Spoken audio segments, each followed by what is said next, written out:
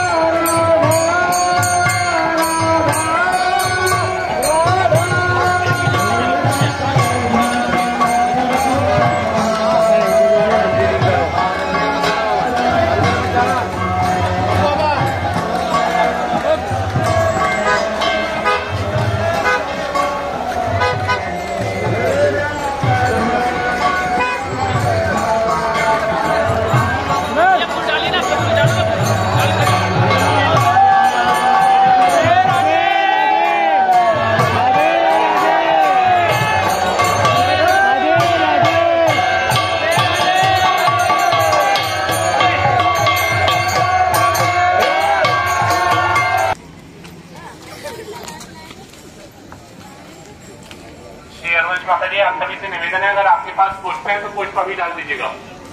अगर आप में से किसी के माता जी के पास पुष्प है तो पुष्प अभी डाल दीजिएगा। भगवान के आने पर पुष्प डालने का प्रयास मत